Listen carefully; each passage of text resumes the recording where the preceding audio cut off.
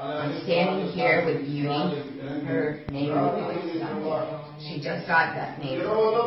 She was hit by a car three days ago laying on the side of the road. She has got a broken back, a broken shoulder, and possibly even neck injuries. Here in Bosnia, no one can do anything for her. Please help me save her. I want to save her life. If you know of any veterinarian outside of Bosnia, in Europe, that can perform this surgery and save this dog's life, this is a young dog. She doesn't even have a full year left. Lived on her streets her whole life and struggled.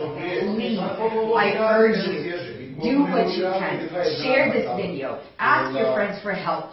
We need donors. I will tag Sadida Sada underneath this video. We cannot do this alone. Please, I beg you, help me.